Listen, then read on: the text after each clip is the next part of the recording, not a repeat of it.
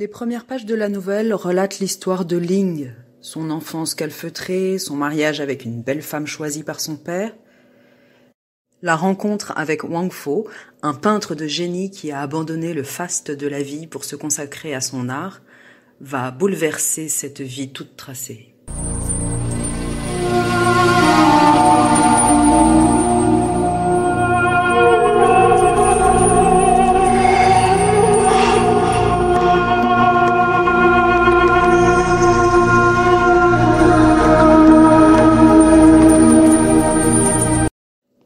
Une nuit, dans une taverne, il eut Wang Fo pour euh, compagnon de table. Le vieil homme avait bu pour se mettre en état de mieux peindre un ivrogne. Sa tête penchait de côté, comme s'il s'efforçait de mesurer la distance qui séparait sa main de sa tasse. L'alcool de riz déliait la langue de cet artisan taciturne, et Wang, ce soir-là, parlait comme si le silence était un mur, et les mots des couleurs destinées à le couvrir.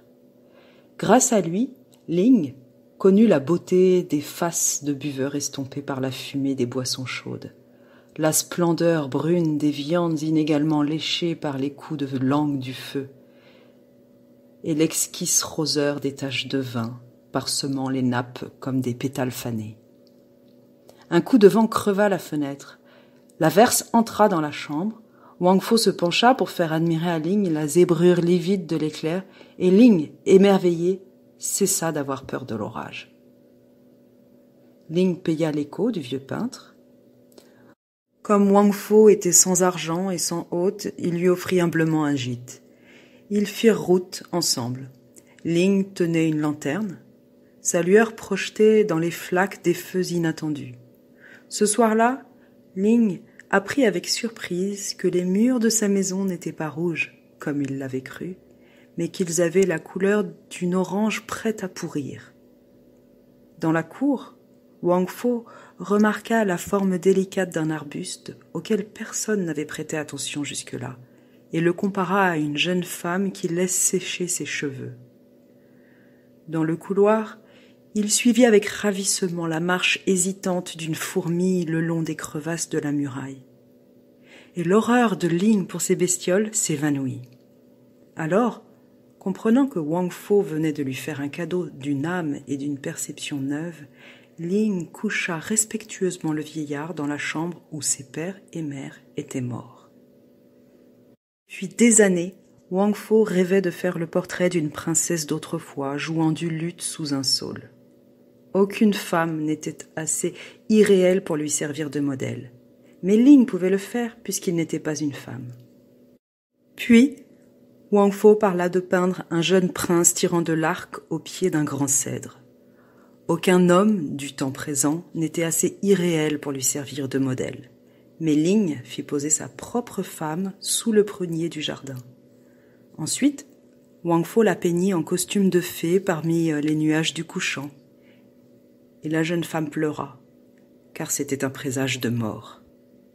Depuis que Ling lui préférait les portraits que Wang Fo faisait d'elle, son visage se flétrissait, comme la fleur en butte au vent chaud ou aux pluies d'été. Un matin, on la trouva pendue aux branches du prunier rose. Les bouts de l'écharpe qui l'étranglaient flottaient, mêlés à sa chevelure. Elle paraissait plus mince encore que d'habitude et pure comme les belles célébrées par les poètes des temps révolus.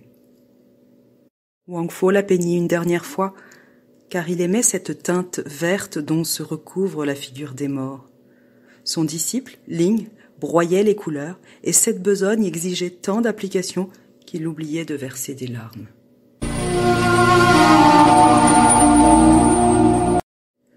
Ling et Wang Fo vagabondent dans leur royaume. Une nuit, des soldats investissent l'auberge où ils se sont arrêtés pour les conduire au palais de l'empereur.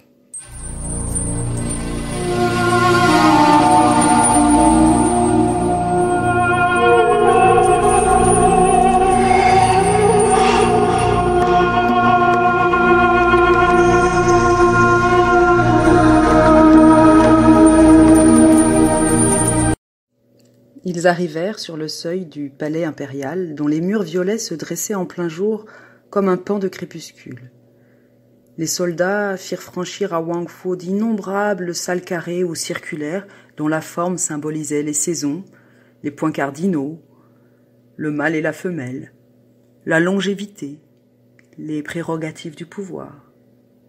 Les portes tournaient sur elles-mêmes en émettant une note de musique, et leur agencement était tel qu'on parcourait toute la gamme en traversant le palais de l'Est au couchant.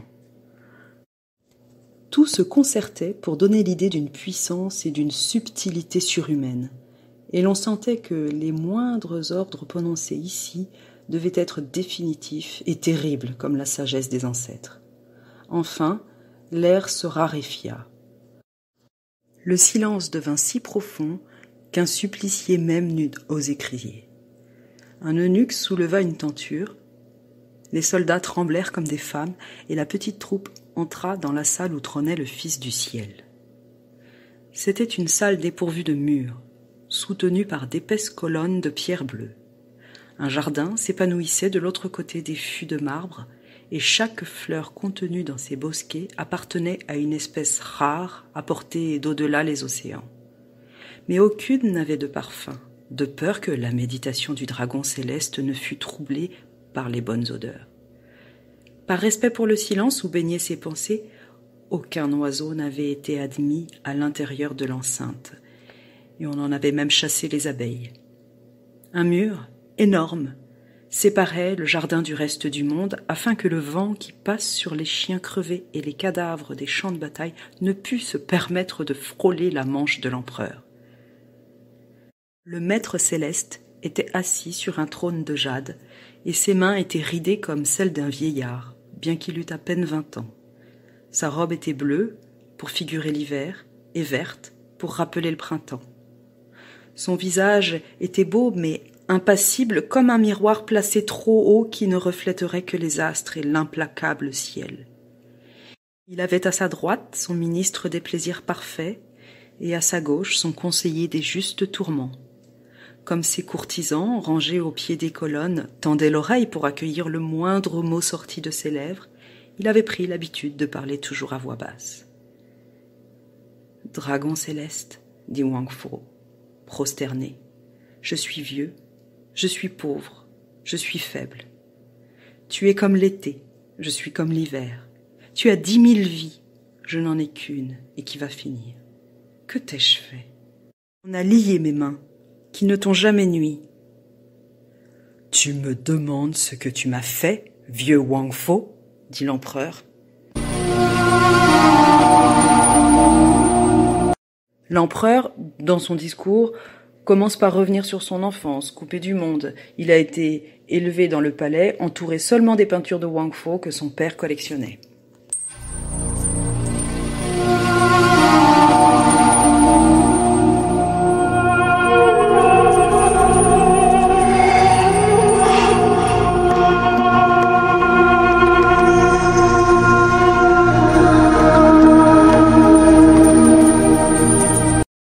La nuit, quand je ne parvenais pas à dormir, je les regardais, et pendant près de dix ans je les ai regardés toutes les nuits.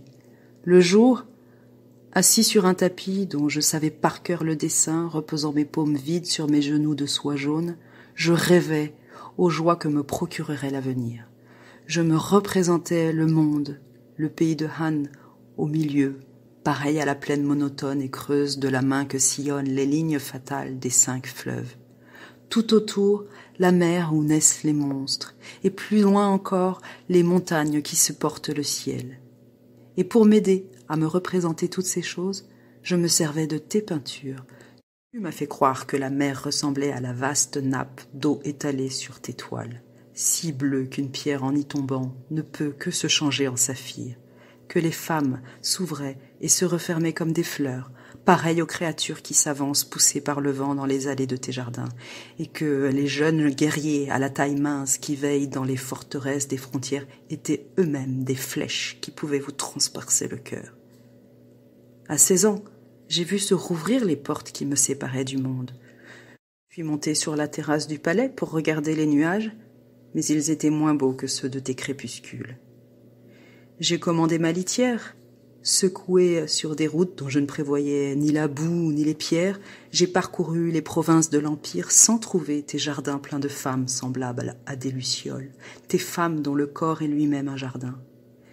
Les cailloux des rivages m'ont dégoûté des océans. Le sang des suppliciés est moins rouge que la grenade figurée sur tes toiles. La vermine des villages m'empêche de voir la beauté des rizières. La chair des femmes vivantes me répugne comme la viande morte qui pend au croc des bouchers, et le rire épais de mes soldats me soulève le cœur. Tu m'as menti, Wang Fu, vieil imposteur. Le monde n'est qu'un amas de taches confuses jetées sur le vide par un peintre insensé sans cesse effacé par nos larmes. Le royaume de Han n'est pas le plus beau des royaumes, et je ne suis pas l'empereur. Le seul empire sur lequel il vaille la peine de régner est celui où tu pénètres, vieux Wang. Par le chemin des mille courbes et des mille couleurs, toi seul règnes en paix sur des montagnes couvertes d'une neige qui ne peut fondre et sur des champs de narcisses qui ne peuvent pas mourir. Et c'est pourquoi, Wang Fo, j'ai cherché quel supplice te serait réservé à toi dont les sortilèges m'ont dégoûté de ce que je possède et donner le désir de ce que je ne posséderai pas. Et pour t'enfermer dans le seul cachot dont tu ne puisses sortir, j'ai décidé qu'on te brûlerait les yeux, puisque tes yeux, Wang Fu, sont les deux portes magiques qui t'ouvrent ton royaume. Et puisque tes mains sont les deux routes aux dix embranchements qui te mènent au cœur de ton empire, j'ai décidé qu'on te couperait les mains. M'as-tu compris, vieux Wang Fu? En entendant cette sentence, le disciple Ligne arracha de sa ceinture un couteau ébréché et se précipita sur l'empereur. Deux gardes le saisirent, le fils du ciel sourit et ajouta dans un soupir Et je te hais aussi, vieux Wang Fu, parce que tu as su te faire aimer. Tu es ce chien.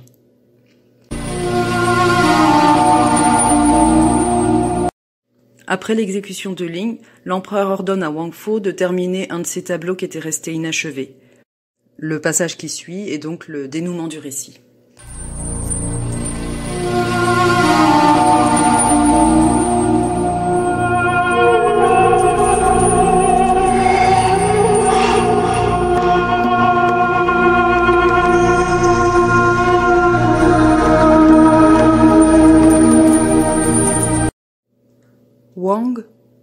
Commença par teinter de rose le bout de l'aile d'un nuage posé sur une montagne. Puis il ajouta à la surface de la mer de petites rides qui ne faisaient que rendre plus profond le sentiment de sa sérénité. Le pavement de jade devenait singulièrement humide, mais Wang Fo, absorbé dans sa peinture, ne s'apercevait pas qu'il travaillait assis dans l'eau. Le frêle canot, grossi sous les coups de pinceau du peintre, occupait maintenant tout le premier plan du rouleau de soie. Le bruit cadencé des rames s'éleva soudain dans la distance, rapide et vif comme un battement d'ailes. Le bruit se rapprocha, emplit doucement toute la salle, puis cessa. Les gouttes tremblaient, immobiles, suspendues aux avirons du batelier. Depuis longtemps, le fer rouge destiné aux yeux de Wang s'était éteint sur le brasier du bourreau. Dans l'eau jusqu'aux épaules, les courtisans, immobilisés par l'étiquette, se soulevaient sur la pointe des pieds. L'eau atteignit enfin au niveau du cœur impérial.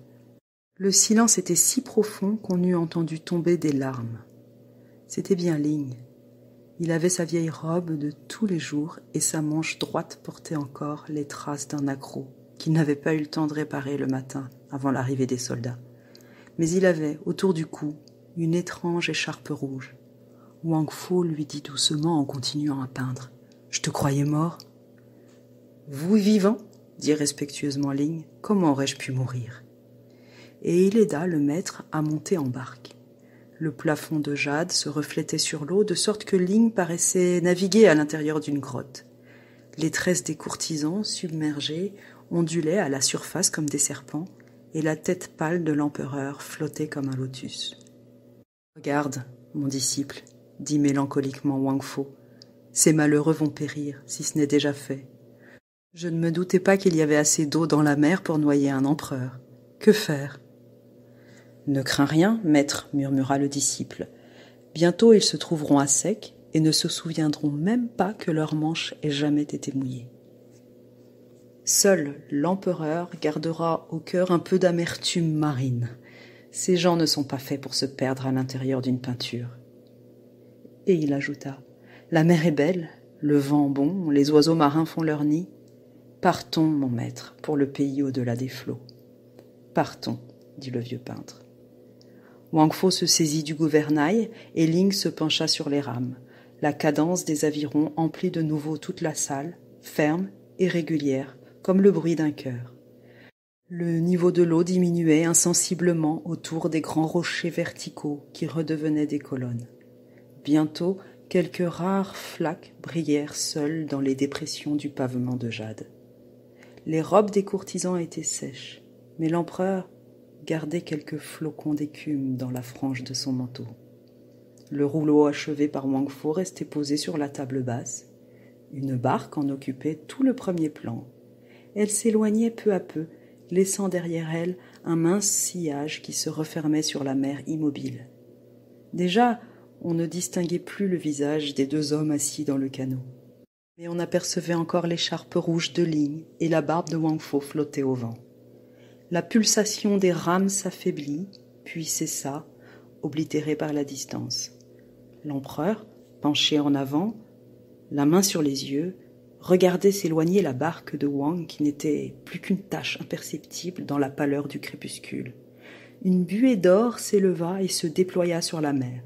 Enfin, la barque vira autour d'un rocher qui fermait l'entrée du large.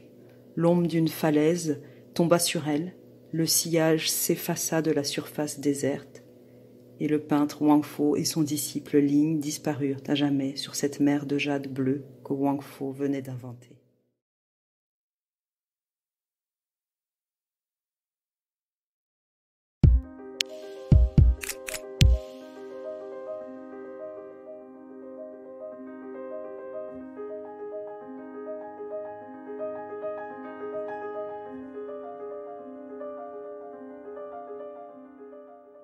Accompagné d'une troupe invisible de femmes qui auraient dû recevoir beaucoup plus tôt cet honneur, au point que je suis tenté de m'effacer pour laisser passer leurs ombres. On ne peut donc prétendre que dans cette société française, si imprégnée d'influence féminine, l'Académie ait été misogyne. Elle s'est simplement conformée aux usages qui volontiers plaçait la femme sur un piédestal, mais ne permettait pas encore de lui avancer officiellement un fauteuil.